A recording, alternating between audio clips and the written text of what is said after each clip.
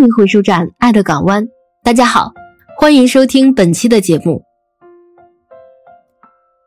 姐，我有女朋友了，准备带她回家给爸妈看看。你也回来帮我把把关吧。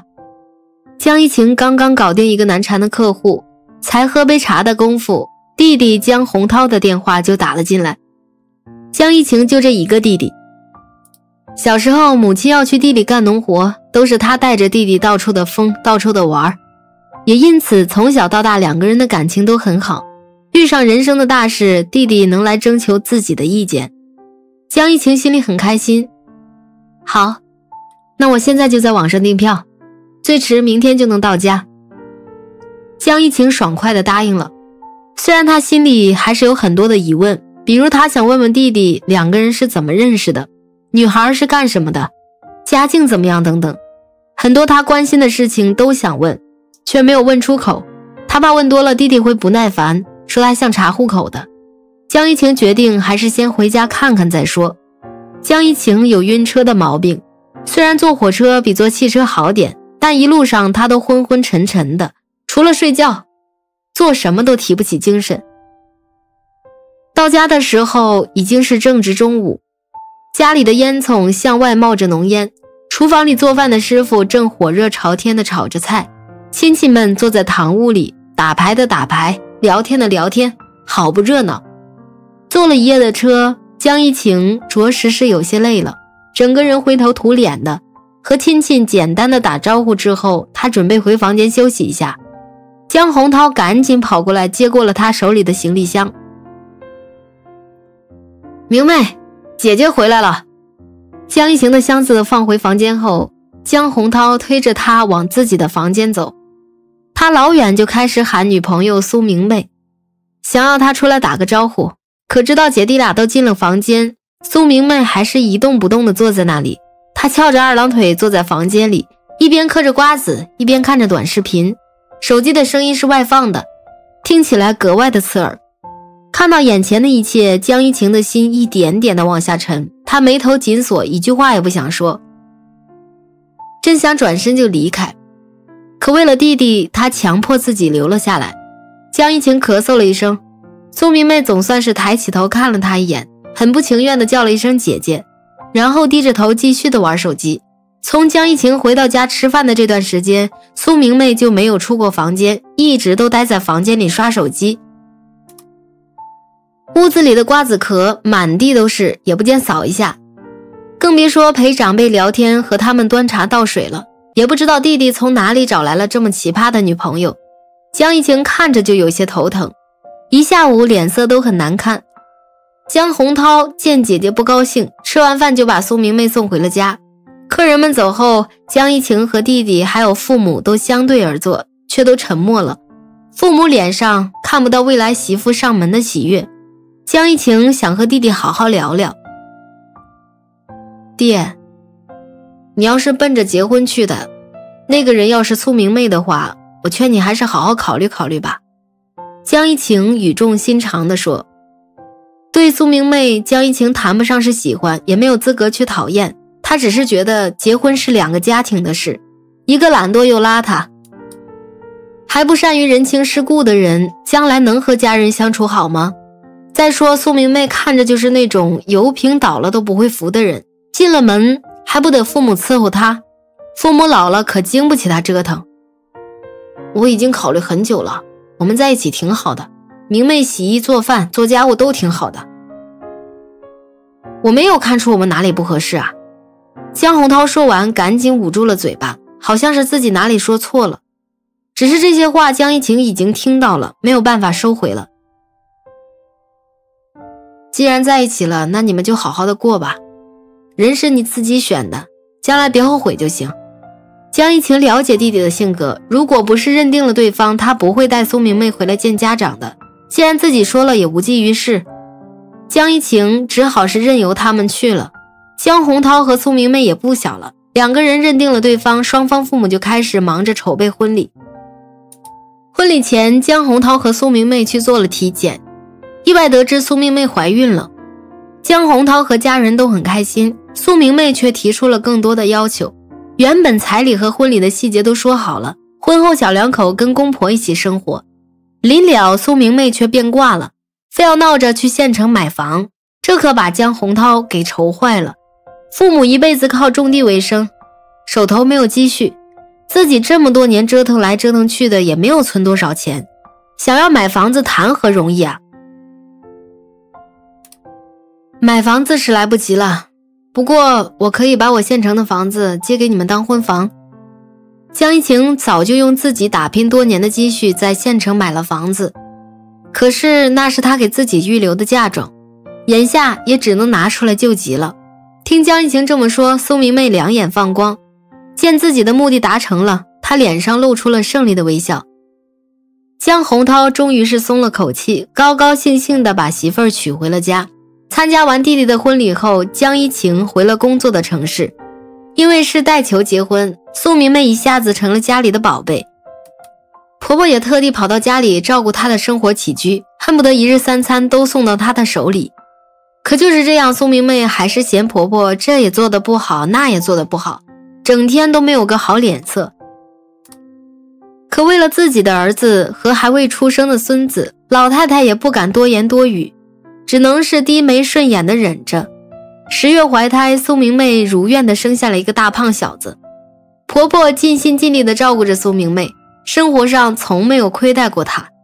一个月下来，苏明媚胖了一圈。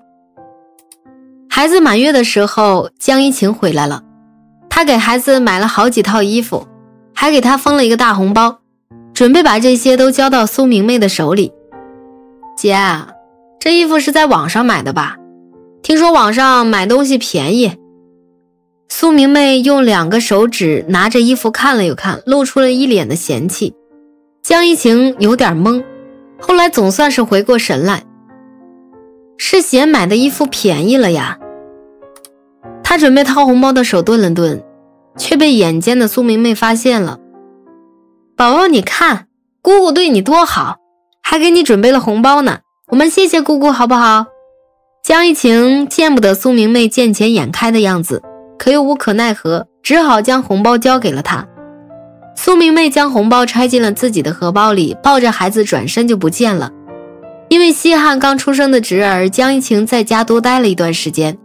老太太心疼女儿在外工作吃不好，每隔两三天就杀一只土鸡给女儿炖汤，这又惹得苏明媚不高兴了。说自己月子里都没有这样的待遇，大姑姐一回来就有鸡吃，老太太急了。天地良心，你月子里可没少吃呀！你姐难得回来一次，杀几只鸡给她补补也不行吗？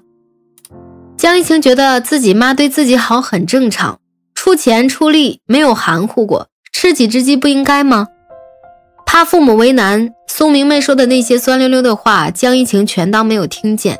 在家待了一段时间，老板打电话催着他，让他回去上班。江一晴开始收拾东西，苏明媚在旁边陪着，笑脸说：“姐，这个别忘了拿，那个别忘了带。”江一晴有一种不好的预感，不知道苏明媚又在打什么主意，无端献殷勤，准没好事。果然，等江一晴一切收拾妥当之后，苏明媚终于开口了：“姐，这房子你给我们做了婚房。”现在孩子生了，我们一家三口也需要有自己的家，不如你把你这个房子过户给我们吧。苏明媚觉得这一切都是理所应当的，说话的时候脸上竟然没有一点的羞愧之情。这房子是借给你们做了婚房，可没说送给你们啊。我用自己所有的积蓄才买了这套房子，这可是我的嫁妆，谁都别想打他的主意。江一晴语气坚定地说：“你们见我怀了孕，就说把这房子给我们做婚房，现在孩子生了又不给，你们这是骗婚。房子不过户是吧？那我就和你弟离婚，自己一个人带着孩子过。”苏明媚歇斯底里地喊着：“你简直是不可理喻！”江一晴不想理苏明媚，拖着行李箱就出了门，她心里乱糟糟的。原本好心替弟弟解围，把房子借给他们做婚房，没想到有人却居心不良，打这个房子的主意，最后糟心的还是自己。自打进门后，苏明媚就没有做过家务，江一晴不愿意过户房子后，他就越来的越过分，每天就抱着个孩子到处转悠，到了饭点就回来吃饭，吃完人就不见了。更过分的是，连自己的贴身衣物都留给婆婆洗。江一晴心里很气，妈妈一把年纪了，照顾了孙子还要照顾媳妇，可她也没有办法，自己离得远，帮不上忙。再说自己总不能是逞一时之快，把弟弟的家拆散了吧？那样小侄子就太可怜了。那时候江一晴有一个相处两年的男友，两个人感情很好，男友年轻帅气，事业也很稳定，可就是没有房子。江一晴不在乎这些，自己已经有房子了，何必在乎对方有没有呢？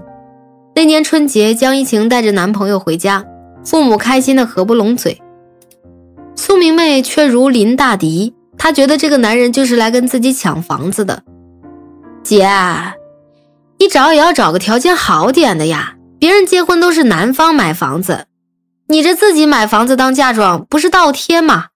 你真的是宁愿便宜一个外人，都不愿意把房子给你侄子。苏明媚自顾自地说着，感觉自己才是那个受委屈的人。原本正在说笑的一家人，听了苏明媚的话，瞬间安静了。江一晴看到男友的脸也是青一阵白一阵。这个春节，江一晴过得并不舒心。她和男朋友早早的就回到了工作的地方，还带上了自己的母亲。她想让母亲去自己那边散散心。我现在不着急结婚，等攒够了买房子的钱再结婚吧。男友将银行卡交到了江一晴的手里，她有些难过，但也很欣慰，觉得自己没有看错人。自从江一晴带着男友回家后，苏明媚就跟得了心病一样，害怕有人来抢房子，每隔一段时间就给江一晴打个电话，吵吵着要把房子过户给她。江一晴都快要烦死了。江一晴，我跟你弟离婚，你们家要给我补偿，要么把房子过户给我，要么给我五十万走人。才消停没几天，苏明媚又发信息过来了。房子是我的，我凭什么要过户给你？再说了，你跟我弟离婚是你们两个人的事，你爱离不离？如果可以，江一晴再也不想和这种人有任何的瓜葛。你不是觉得你自己能干吗？喜欢掺和娘家的事儿，带着你妈说走就走，那你和你妈就死在外面算了，永远也不要回来。苏明媚连轰带炸的发了一大堆的语音过来，江一晴的心凉透了。母亲端着菜从厨房出来的时候，也听到了苏明媚的咒骂声，她眼睛里隐隐的泛着泪光。第二天，江一晴去上班的时候，心里总是有些不安，她怕母亲会做傻事，于是走到途中又折回去了。回到家却找不到母亲，去推房门，发现门被反锁了。他找来了物业撞开了门，发现母亲晕倒在床上，旁边还残留着一个药瓶。还好，母亲因为送医及时，才捡回了一条命。江洪涛也知道了母亲寻短见的事儿，他坚决要离婚。从前，为了给孩子一个完整的家，苏明媚那些小吵小闹的任性，他都可以忍。可这次，他差点害得母亲连命都没有了，他没法再忍了。从前吵着闹着要离婚的是苏明媚，可现在江洪涛是真的要离婚了，他却害怕了。他试着去挽留。江洪涛却不愿意给他机会再去伤害自己的亲人。江洪涛和苏明媚离婚了，他给了苏明媚他能给的最多的补偿，让苏明媚带着孩子回了娘家。